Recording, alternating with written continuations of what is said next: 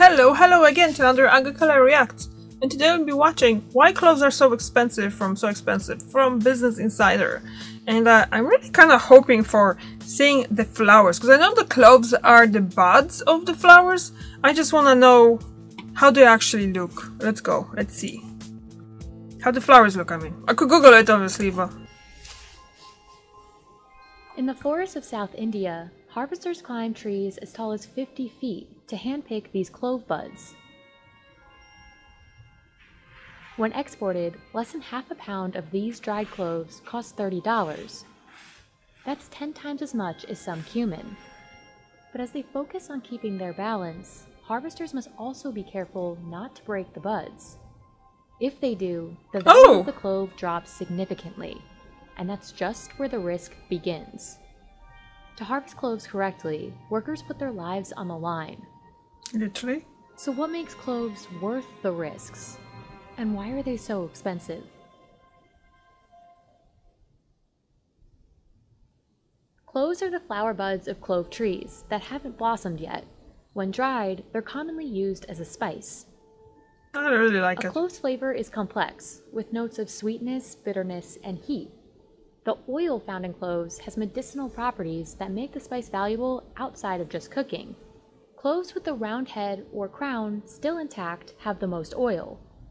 But to get cloves with the highest possible oil content, highly skilled workers are needed at every stage.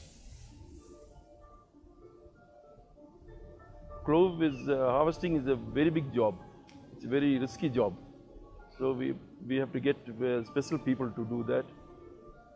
To get to the top of the trees, harvesters like Shibu rely on only a ladder and some rope. അത് ഈ മൂന്ന് കയറ് മൂന്ന് സ്ഥലത്തോട്ട് വലിച്ച് കെട്ടിയാക്കില്ല ഈ ഏണി side ഏണി നിൽക്കത്തുള്ളൂ What? Wouldn't it be easier to just grow the trees and let's say have them trimmed? I wonder if the cloves are those kind of plants, one of those plants that you have to have them like they they, they bloom on the old wood, meaning that the, the branches that they grew last year, they're gonna bloom next year. So I mean like if the branch growing this year, it's not going to bloom this year, it's gonna bloom next year. I wonder if that's the case. This is why they let them grow so far, so so high, and make it dangerous then. Because obviously they probably could trim them in some way. Hmm, I wonder.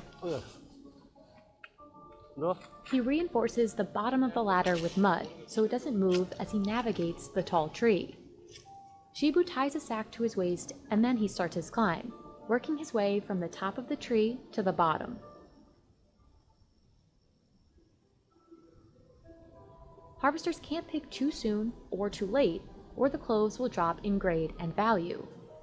In addition to picking at the exact right time and being careful not to harm the clove bud, they need to be sure not to break the tree branches they climb. Otherwise, the tree will have a lower yield next harvesting season. Navigating all these elements can be extremely dangerous. In Black Rock Estates, harvesting cloves has led to death. A couple of years back, we lost a worker who was in the, while he was plucking, the lightning struck him. We lost almost about six of them was they had paralyzed like we had to take them rush them down to the hospital and they were admitted for a month. Yet handpicking is the only way farms like Blackrock Estate have managed to keep delivering quality cloves. Because timing is crucial, Charles needs a big team to pick the cloves as soon as they're ready, which is usually mid to late February. Charles can sell the cloves for their highest price in the first 25 days of the harvesting season. The more he can harvest during this time, the better it is for business. When the clove season is fully on, when we have a very good crop, we get about nearly about 300 workers.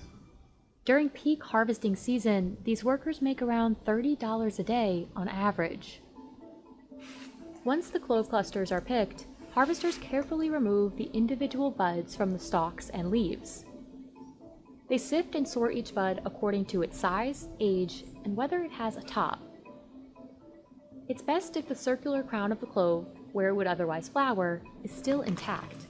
This improves the spice's taste and aroma, even though there are machines to help with this process, Charles prefers to pay for it to be done by hand, to lower the risk of clove damage. They have clove breaking and uh, sorting with machinery. But still, the, the half the cloves is damaged in that. We get broken cloves in that. So it's not very good doing it to the machine. The highest quality cloves were picked at the right time. And then time. you, you, you give less work to people around as flowered. well. They're large and plump and still have the crown. Second quality cloves also still have their tops, but they're smaller. They were either picked too early or too late. And the third quality has no crown, with the top having either flowered Kinda or broken flowers. off. After the sorting, workers leave the cloves out to dry in the sun. High quality cloves take three days to dry under good sunlight. But a quality clove won't always get sold as the highest grade, because official grading doesn't happen until after it's dry. If there's too little or too much sun, the clove's quality drops. Instead of golden brown, it becomes black, and it loses one of its most valuable properties its oil content. First quality cloves are the most fragrant and have the highest oil content. The headless third quality cloves have the least. And the difference shows in the price. Charles sells his first quality cloves for about $10 a kilogram, and his lowest grade for under $7. Clove oil is mostly made up of the compound eugenol, which is not only responsible for the clove's familiar aroma, but also for its medicinal benefits. Researchers have noted eugenol has antimicrobial, anti inflammatory, pain relieving, and antioxidant properties. So the demand for cloves goes beyond their culinary uses. Cloves are so sought after in India that Charles is able to sell more than just the buds. We sell everything, nothing goes to waste. Even the pollen, the dust, everything we sell. That's also because the cloves he grows, Kanya Kumari cloves, are known for their high oil content and strong aroma. In fact, these cloves were awarded a GI indication in 2021. Charles says Kanya Kumari cloves are Maybe the that's most why they're doing that from the variety in trees. India. When you go to the market to buy cloves, the clove price will be about three times the price what we give. It will be about 2000 rupees where we get only 750. The retail price is so much higher because of the supply chain. To maximize on profits for the farm, Charles won't sell his cloves directly to consumers, who only buy smaller amounts as needed. Instead, he sells to clove dealers who buy large quantities. Dealers like Franklin Roosevelt then have to keep the cloves fresh until they sell them to retailers. If he doesn't store the cloves properly, their shelf life drops. Glove के लिए एक temperature उस temperature में वो लोग उसको stock रखते हैं और मोस्टली कोल्ड स्टोरेज में ही जाके उतरता है मतलब नॉर्मल टेम्परेचर में रहेगा तो माल भी ख़राब हो जाता है और उसका टेस्ट फ्लेवर नहीं रहता है To cover the cost of quality control, Franklin sells cloves to stores for almost $12 a kilo. The shops that buy from Franklin have to pay transportation and packaging costs, bringing the retail price of cloves in India even higher. But one of the biggest challenges in every step of the supply chain has been the changing climate. जैसे कि ज़्यादा बारिश होने की वजह से पेड़ों में फंगस गिर जाता है तो सारा माल झड़ जाता है तो जो लैंडलॉर्ड होता है इसका जो ओनर्स होते हैं उनको भी हेवी लॉस हो जाता है और जो लोग इन्वेस्ट करते हैं जैसे मेरे जैसे जो ट्रेडर्स हैं वो लोग हम लोग ये बहुत बाहर गांव से लेबर्स बहुत लाते हैं तो लेबर्स को नौकरी नहीं होता है हम लोग ट्रेडिंग भी उतना ठीक से कर नहीं पाते Between 2018 and 2019, India lost 13 metric tons of cloves due to heavy rainfall. And while the global clove market is expected to grow by 3.5% by 2027, the changing climate may still continue to disproportionately burden clove farmers. नहीं अभी farmers लोगों को इतना उसमें profit नहीं दिख रहा है। क्योंकि वो मैं बोला ना ऐसे बारिश हो जाता है तो ये सब होता है। और उनको उतना जितना उन्होंने इन्वेस्टमेंट किया है उतना उनको रिटर्न नहीं है। वो है। अगर वो लोग भी अगर ट्रेडिंग लाइन में आते हैं तो ठीक है। लेकिन बहुत कम लोग ही आते हैं क्योंकि वो लोग इतना रिस्क लेके सब लोग नहीं जाते हैं। इसमें रिस्क लेंगे तो है पैसा मिलता है। If you like So Expensive, Whoa. there's a new show coming for you. This time about expensive foods and the people behind them. We've already shown you some of the pricey foods the world has to offer. What is that? Now join us as we take you underground for ant caviar in Mexico, inside the luxury mango market in Japan, and mm. beyond. So expensive food coming soon. That's something to watch, guys. okay.